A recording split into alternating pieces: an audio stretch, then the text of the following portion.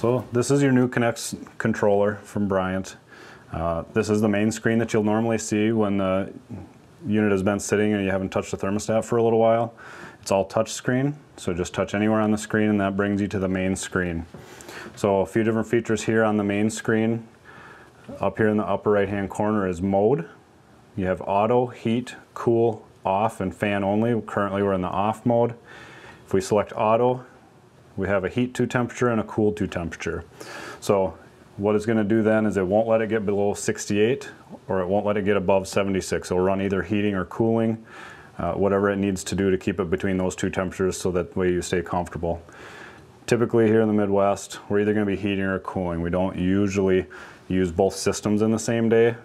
So right now, since I've already done the startup on the unit, I'm just going to put it to heat and we'll get the house heated back up here. So once we've selected a mode, then we just use the up and down arrows to select the temperature that we want. So I'll just bump it up to 70 degrees. As soon as I change the temperature, you can see that it brings up another little sub menu. It's asking me, do I want to hold this temperature until a certain time today? I can select whatever time I want. The times are a little bit off right now because we haven't set the time or the date. We'll get into that in a little bit. The other thing that we can do is we can touch the hold button over here and we can go back to a normal run in the schedule, which we'll set up at a later time here in a few minutes. If I push hold here in the middle, that's a permanent hold. That'll hold that temperature then until I tell it to do something different or somebody tells it to do something different. And then of course hold until is the back, the, the first option we had. So you can tell it what time you want to hold that temperature to. So for right now, I'm just going to choose a temperature and then we'll select that. Next thing over on the, upper, on the upper side of the screen in the middle is our date and time. So we can manually adjust the date and time or once we connect it to Wi-Fi, it will automatically update just like a smartphone does. So you won't ever have to set it for daylight savings or anything like that. It'll automatically update and it'll get the date and time from the server so we wouldn't even have to set it. Uh, since the Wi-Fi comes up here a little while later, I'm going to go ahead and set the time right now. So that way when we're going through the scheduling, the timing is more precise, at least until we get to the final Wi-Fi setup. So just select 5.15 p.m. February 27th.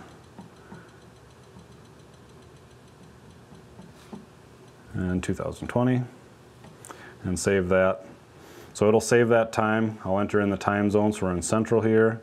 And now I will I'll go ahead and enable time synchronization. The time will still be saved, but when we get to the Wi-Fi setup, it's automatically going to get that information from the server. Last thing on the upper side of the main screen is features. Continuous fan, we always recommend to run that on at least low. That's going to help balance out your heating and cooling uh, between the different levels of your house. So between the basement and the main floor. It gives us our actual humidity. So we've installed a humidif uh, humidifier on your system and this is actually controlling the humidity. So we no longer have a humidistat down in the ductwork. It's all controlled, sensing the room air right here at the thermostat. And then my evolution, it says not connected right now. That'll say connected once we go through the Wi-Fi and we get you registered online. Then that'll be communicating with the server. So my evolution, that's the server, is what it's talking about touch and go buttons. These will make a lot more sense here in the next couple of steps, but if you just touch on one of those, this is a real quick way to change. If you're deviating from your schedule, you can tell it you're doing something different without having to reprogram your scheduling. So let's say it's a weekend when you're normally home, but you're gonna be leaving for the weekend. You just touch away and you can say permanent hold. So it's gonna keep it at whatever temperature you designate for when you're not home until you get back home or until you get onto your mobile app and tell it to go to your home temperature so it's comfortable when you get back home. So that brings us into our main menu. I'm just going to go ahead and push home, turn the heat back up to 70, and we're on a permanent hold again. So that way we'll be heating here while we go through the setup. So menu button, first thing we come to is comfort profiles. Temperature and fan profiles we'll set up first. Now these should look fairly familiar. These are our touch and go buttons. So this is where you would go through and select when you're home, what temperature do you like? You know, for heating, cooling, so we select those temperatures and then we save it. When we're away, Of course, keep the fan on low all the time, at least on low, and then set the temperatures uh, whatever you like while you're away. So you can just change whatever temperature you like. Um, and we'll get into more cost saving stuff uh, that this Connex controller and this Evolution system is capable of, uh, where you can kind of play with these temperatures a little bit and get the maximum savings. And then of course wake, so this would be after your, your sleep temperature. So if you set the temperature down while you sleep like a lot of people like to do, this would be between your wake up time and the time you would leave on a normal basis to go to work. And then sleep temperature of course, fan on low again and then select what temperatures you like while you're sleeping. Humidity and fresh air profiles. So this is gonna be for when we're home. Like I said, with the humidifier on the system, uh, what I normally recommend is between 30 and 50% humidity. Some good things to watch out for are moisture on the windows and doors. That would indicate that we have too much humidity and we would want to turn this down. Um, on the other end of that, if it's too dry on carpet, we'll get static shocks, dry sore throats, bloody noses, things of that nature. That would indicate we would want to bump it up a little bit. But I usually start people off at about 35%. That seems to be a pretty good average starting point for most people. Now cooling humidity with our Evolution uh, air conditioner, it's up to five stages. So when we stage that down into its lowest stage, it's really working on getting rid of humidity more than cooling the air. So we can tell it what we're trying to dehumidify the home to. So right now it comes factory set at 52%. I usually leave that. That's a pretty comfortable number, a pretty comfortable target. Uh, this option allows it to overcool by up to three degrees trying to get rid of humidity.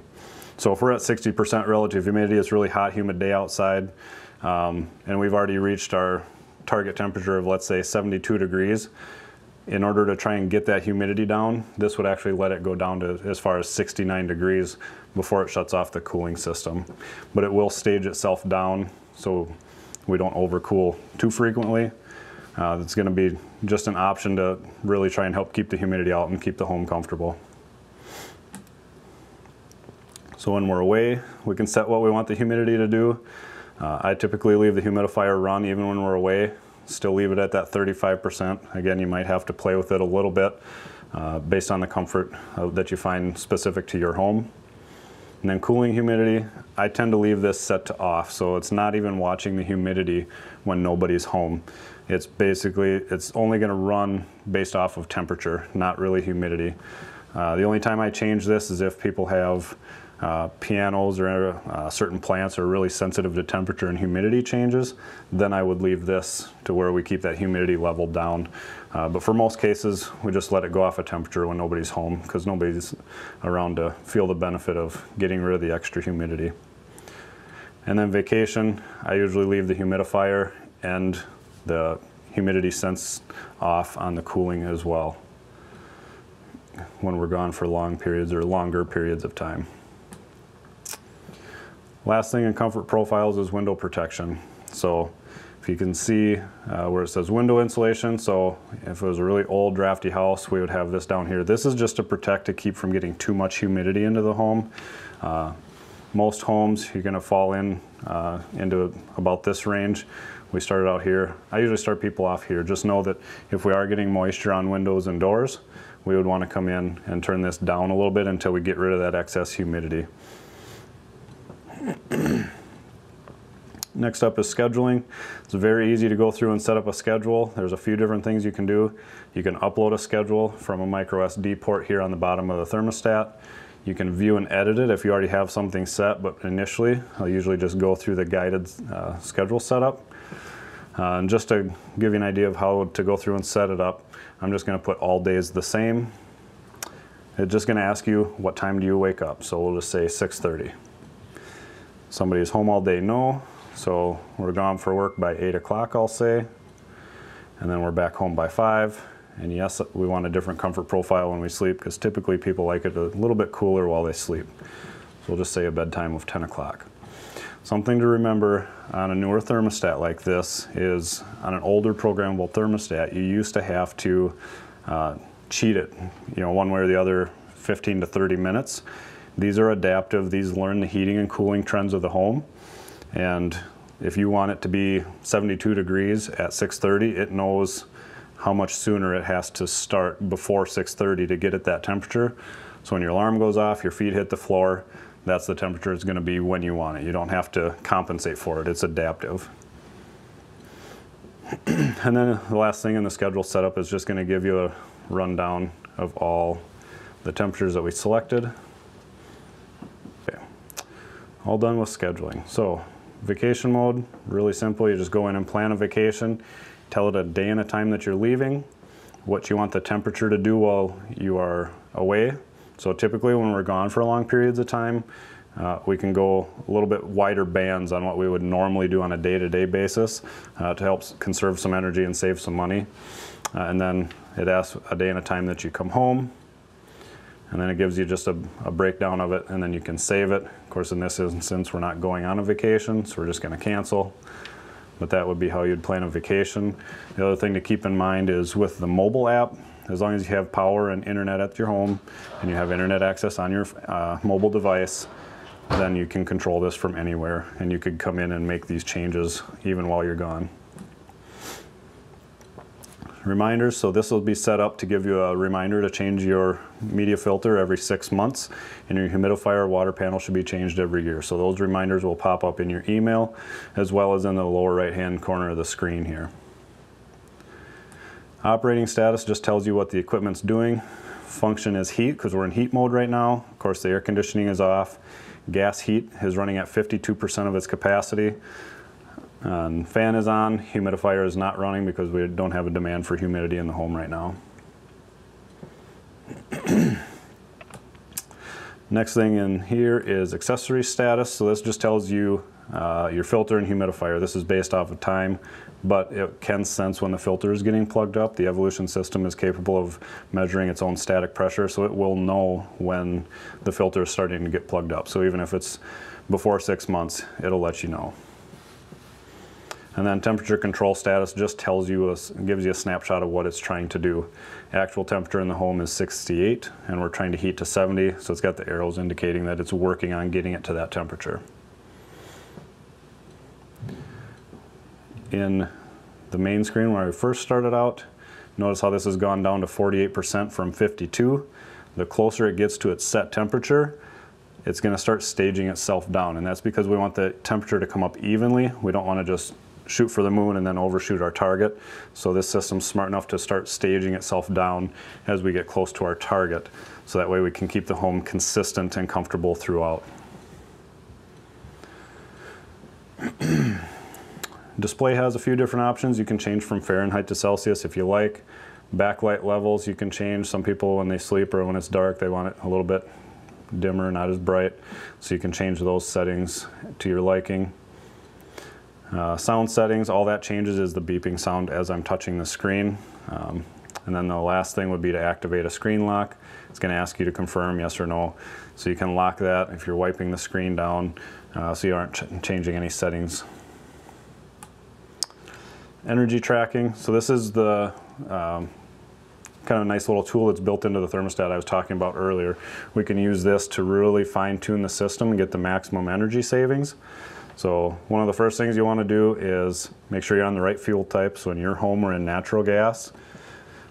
You'll take your utility bill and you type in what you pay per kilowatt hour of electricity and then per therm of natural gas. So those numbers you can find right on your utility bill. Save those and then we can go into view energy usage and this will give us a day-by-day -day breakdown of how much it's costing to run the system. So if we want to change temperatures while we're gone, maybe we want to spread them out a little farther, um, what I would do is I would change it, let it run for a couple of weeks, and then watch the monthly usage and see where we're trending. You know, is it costing us more money or less money? Thing to keep in mind with that is when you are adjusting and trying to fine tune your system, if we get a 30 below zero spell for a few days, that's obviously going to affect uh, how much the system is running and how much it's going to cost. So you kind of want to make those adjustments on similar weeks or similar days anyway. Um, so it gives us a cost breakdown, energy consumption breakdown, and like I said, we can do daily, monthly, or evenly yearly usage. So this is really just a nice feature to help uh, with energy savings and to keep your home comfortable and uh, as efficient as we can. Date and time, so that's just the same menu that comes up if we touch it from the main screen, so we've already gone through that. Service menu, there's a little bit of information in. By the time I'm done setting this up, this will have Haley Comfort Systems information logged into it, so if there is a problem with the system, not only will we get an email at our office, but it'll have our name and number right here at the thermostat, so in case um, you lost the number or need to know how to get a hold of us, it'll be built into the thermostat. Model and serial numbers are in here. There's more stuff in here for service technicians or uh, anybody like that. Um, so it's really not a menu that we're going to need a whole lot. As I said before, there's a micro SD port on the bottom. We can upload a photo. So you can do that and that'll show up on the background. Wireless setup. So enable the Wi-Fi. And then the first thing we're going to do is set up a Wi-Fi connection and then we'll scan for the connection. Once we find it, you type in your password and then it'll connect to the Wi-Fi. then what I usually do is I'll take a screenshot or a, a photo of the uh, registration information because then when you go to register your equipment online and set up your account on the Bryant server, we'll need this information as one of the first steps. Weather forecast. That'll become available once the Wi-Fi is set up. You enter in your zip code and then off of the server, based on the zip code, it gives you a weather forecast, five-day weather forecast um, that you can use. Uh, know that when the system is making decisions on staging, it is taking a live temperature reading on the outdoor unit. It's not using the information gathered from the server. So there actually is a temperature sensor out at the air conditioning unit. So uh, that is a live reading. Sensors is the last thing.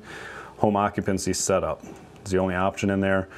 Comes factory enabled and that's right here. So this is watching for motion in the house. What can happen is if this is not a high traffic area, this will actually revert to an away temperature or keep the house at a, either a cooler or warmer temperature depending on whether it's heating or cooling season if it doesn't sense any activity. Um, if it's a nuisance, you are able to disable it, uh, but for the time being, we'll leave that enabled because it is a nice way that if we forget to change the temperature when we leave, it's a nice way that this helps us conserve some money and energy at the same time. And that is your new Evolution controller. Back here at the main screen where we started out, as I said, this outside temperature is a live reading. It's not based off of what information on the server. Once Wi-Fi was set up, uh, this red X would go away. If these bars are white, that means that we have Wi-Fi connection and we are connected to the server. If these bars are yellow, that would mean we have Wi-Fi, but we are not communicating with the server. And then of course the red X means that there's no Wi-Fi available or it isn't set up yet. And then the last thing is it does show gas heating here, so it does tell you a little snapshot of what the system's doing even as you pass by. So.